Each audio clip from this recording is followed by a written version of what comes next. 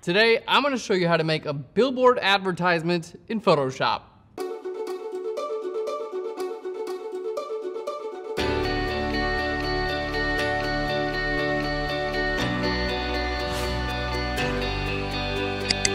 Hey guys and welcome to Phlearn. My name is Aaron Nace. You can find me on phlearn.com where we make learning Photoshop and photography fun. And today's episode is all about creating a billboard ad in Photoshop. I'm gonna show you how to use a smart object to make creating a billboard super simple. We're gonna define the shape and then use layer masks to cut out these lamp posts to make it look like the ad is actually behind those lamps and in the photo. Then we're gonna go into our smart object and actually build this billboard. And as we do it, you're gonna see the smart object is going to automatically update this image. What that does is gives us a real idea of what the billboard's actually gonna look like in real life. All right, guys, this is gonna be so fun. Let's get into today's episode. So we're here in Photoshop. I've got my background layer. Now, what I wanna do, this is a great ad for Bulleit Whiskey. Well, we're gonna replace it with our own product. So first thing I wanna do is create a new layer. I'm gonna grab my marquee tool here. I wanna, basically, this is like a rectangle, right? Now, right now it's in perspective, right? It's like, it's you know, you can see it's like tilted sideways and everything like that. But if it were straight on, basically this is just a rectangle. So what I want to do is create a rectangle. And then that rectangle we're going to warp into position. So my rectangle, basically, we're going to start on the top left with my marquee tool. And I'm going to click and drag all the way over here. Now, I'm just kind of saying like the height of my billboard. You can see the height is about this height, right? I don't want to go over here and then pull down all the way over here because you can see that's actually not the height of the billboard. So just make sure you're staying with the height. There we go. And then we're going to go stretch right to the right and that's going to be the shape of our billboard. So we got the height there and the width pretty good in place. Okay, now what I want to do is fill this with white. So I'm to hit Shift Delete and I'm going to fill this with white. All right, and hit OK. All right, guys, so this is the shape of the billboard. Now what we're gonna do is convert this into a smart object. And it's really important that you do this at this stage because having this as a smart object is going to allow us to really create the billboard and see how it translates in real time to this image.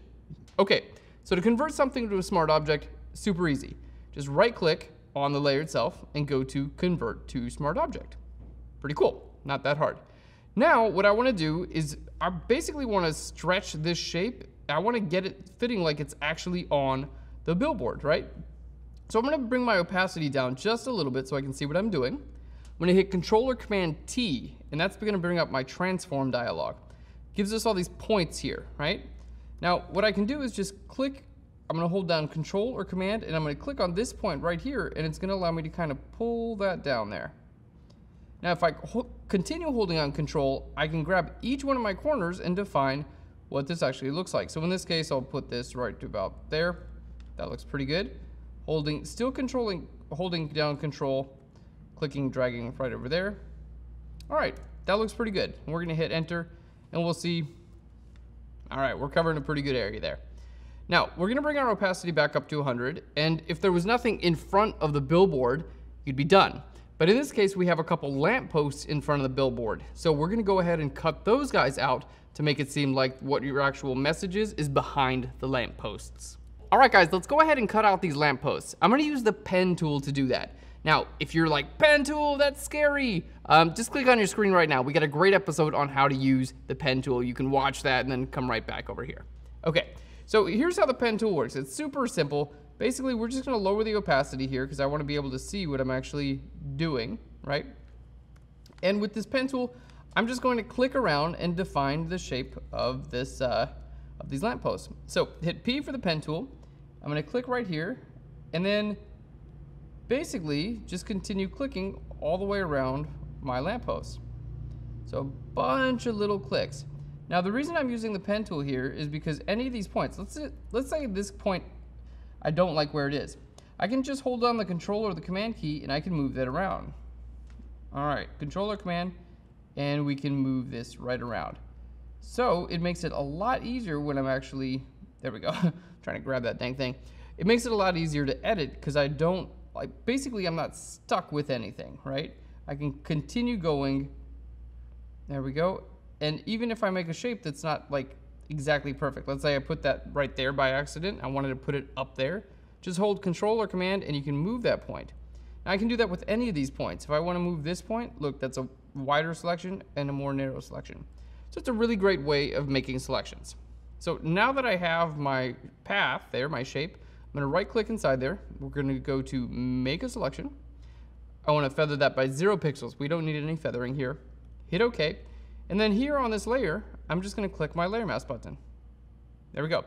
Now you can see what it did is it actually did the exact opposite of what we want, right? So let's click on the layer mask here. I'm gonna hit control or command I, which is gonna invert that.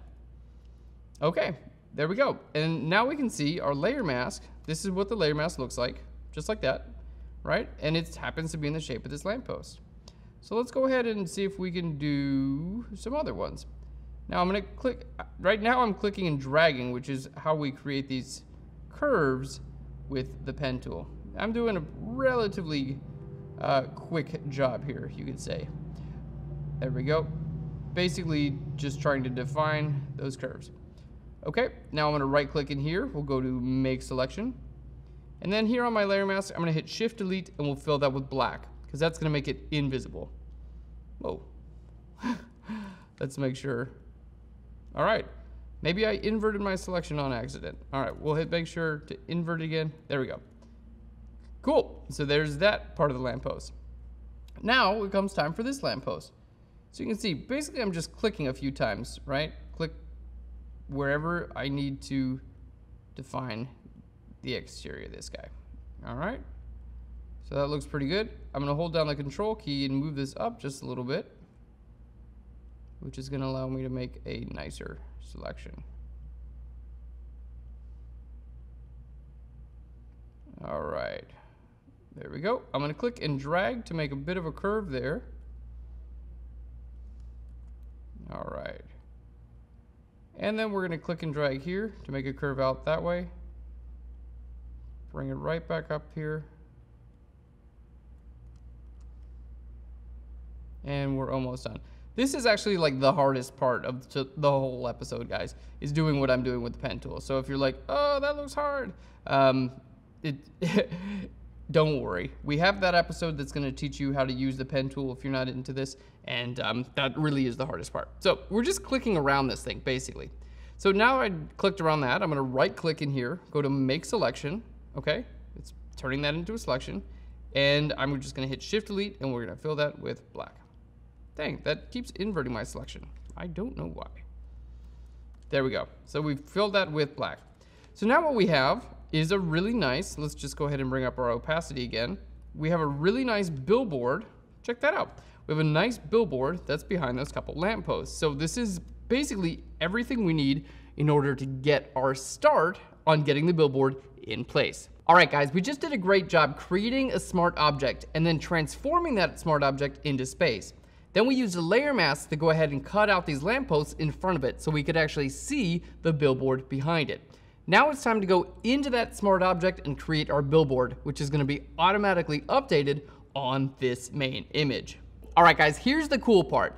So we're in our image, you can see this is our background layer. This is just a smart object, right, that we created with a layer mask. Now, if I wanna edit what's in the smart object, in this case, I'm gonna edit the actual billboard itself. All I have to do is double click right here, and it's going to say, after editing, choose File, Save to commit the changes. All right, let's hit OK. And it's going to bring this. Now, this is basically just our billboard. So if I were to just draw over there like that on my billboard and hit Command S, it automatically updates in my image, which is amazing. I'll draw a couple more, hit Command S. There we go. And it's updating automatically in my image. Not only that, but it's in perspective as well. So for instance, if I wanted to put a logo on there, well, it just so happens that I have a logo. There we go. This is the beautiful logo for the Chicago Candle Factory, which is something I'm super really proud of. Um, I actually started a candle company. I'm going to tell you guys all about it in the coming years, but the Chicago Candle Factory is up and running. This is our beautiful logo designed by my friend Brendan Shanley, and um, we're going to go ahead and make it into an ad. So we have our Chicago Candle Factory logo here. I'm gonna pull it into my billboard. So this is the billboard, right? Let's go ahead and hit Command T. I'm just gonna scale this down a little bit. We don't need it to be that big. So we're gonna scale it down. There we go. So it actually fits inside of the billboard. There we go. And now, you know what? Let's say, let's zoom in here. Let's say I just wanted this to be centered. So I'm gonna hit Controller Command A to select everything. And then I'm gonna click on my Move tool and use my alignment options up here. So I'm gonna align this from the center this way and the center that way and deselect. Cool. Now, well, let's go ahead and make a lot of these other things smaller so we can actually see what we're doing. All right. Cool. So keep in mind, guys, this is the billboard. This is the billboard that I'm working on. So all I have to do is hit Command S to save it, and it automatically translates into the actual billboard. See, if I move this over here and hit Command S, it automatically translates. Because what we're doing is we're updating the smart object, and the smart object is the billboard. So it's automatically being like actually, you know, changed in the image, which is so cool. All right, let's go ahead and finish up this billboard because I've got all these different pieces. We're gonna put them, put them all together. We're gonna put them all together. We're gonna make it look real good. All right, guys, so now that we have our smart object in place and we can see that editing our smart object automatically updates in our image, let's go ahead and finish out this billboard and make it look super good. Okay, so here's our billboard again. Now, I went ahead and pre-created some of these assets. This is handmade in Chicago, 100% recycled bottles plus soy wax, which is true. So I've already made these things. Now I'm just kind of like plugging them in and seeing how they look together. So let's use my move tool. I'm gonna shift click and drag from one document to another one. And we can see, whoa, that's way too big, right? So let's go ahead and hit Command T and we'll just go ahead and shrink this down a little bit. There we go. That looks pretty good. And now if we didn't have any beautiful pictures of our products, you could think, you know, yeah, maybe something like that would look pretty good, like as a billboard. we have no evidence of our products, but that's they are handmade in Chicago. So I'm gonna hit Command S to save that, and there we can see that's what it actually looks like on the sign. Now, this is super helpful because you're able to see like, oh, this font might need to be a lot bigger or a lot smaller. It's very, very, it's hard to see how something on the computer translates into real life. So being able to do this, you know, for instance, I'm like, wow, that, that logo is much too big. I need more space around it, right? So I'm gonna hit Command T. We're just gonna shrink that logo down a little bit and hit Command S to save it. It's like, oh, good, we have more breathing room now. All right, well, let's go ahead and bring in a picture of our candles. This is actually one of our, uh, this is a five pack of our candles. So we're gonna bring these in. I'm gonna hit Shift, click and drag from one to another. There we go. And we're gonna go ahead and hit Command T to transform, and we're gonna just make this nice and small. There we go. If you're interested in the Chicago Candle Factory, by the way, um, check us out. We have a website, see chicagocandlefactory.com, um, where you can see beautiful product photos taken by yours truly. All right, so let's say we just wanted our candles on there and our logo. Well, we can do that too. Let's just hit Command S, and now we can see what that would look like in the actual ad. All right, so we're in the middle of creating our ad, and this is actually how I would create an ad for something like this. Now I'm deciding, you know what, maybe I want a picture with less candles in it. Maybe it's too much candles for it. I want, I want to be able to see the words and things like that. So we're gonna go ahead and pull in a different picture. So we've got, this picture is the one we started with. Remember, this is our billboard there, right? I've got another beautiful picture of the Chicago Candle Factory candles. We're gonna go ahead and use our move tool and shift click and drag from one image over to another one. All right, now we're gonna hit Controller Command T to transform that and we're simply going to scale this down. There we go, and bring this over to the right. Okay, now we've got our text back over top of here. So let's see how this works. I'm going to bring my text and I'm going to hit Command T to go ahead and scale that down quite a bit. And we're going to scale this logo down quite a bit as well. So we've got our logo, we've got handmade in Chicago, 100% recycled bottles made with soy wax. There we go all of our bottles are completely recycled from local bars, which is a lot of fun. Um, okay, it's a lot of fun in many ways. All right, there we go. So let's go ahead and bring that up. And I really like this. I, I think this is looking really great. It looks professional. It looks like the people who made it kind of know what they what they're doing. And that's our billboard. Now let's go ahead and see. I'm gonna hit Controller Command S on this to save it. And there it is, popped into our billboard automatically. Well, let's go ahead and change some things around. Like let's, this handmade in Chicago and the logo, I like those quite a bit together. I think they look great. So let's just shift click the two of those and hit Command G to group those, okay? Now, let's see what this looks like if I wanted that to be on the right side and I wanted my bottles to be on the left side. Well, there we go. Let's hit Command S and we've got a completely different look for our billboard. There we go. Switch it up a little bit. So maybe you're like, oh, there are telephone poles, lamps there. We don't want it covering up our beautiful candles. Um, these are all things that can come into consideration. All right, let's go ahead and bring that back right over there. And that's, I think it's absolutely beautiful. There we go. Let's bring it a little bit more so we can read the soy wax. Very cool. All right, so we can see how actually working on this smart object, we're able to create our billboard and have it update in the photo in real time. And when you're done, just close it out and you're good to go. So there we go, guys the Chicago Candle Factory, handmade in Chicago, 100% recycled bottles and soy wax. Right here on a billboard in Chicago. From a picture I took on my iPhone. Pretty dang cool. Cool. All right, guys, that's all there is to creating a billboard ad in Photoshop. Just follow these key steps for maximum success. The first thing to do is define the shape of your billboard. I just use a rectangular marquee to create a selection and fill that with white. Then I converted that to a smart object, which is going to allow me to actually edit whatever the contents inside the smart object are.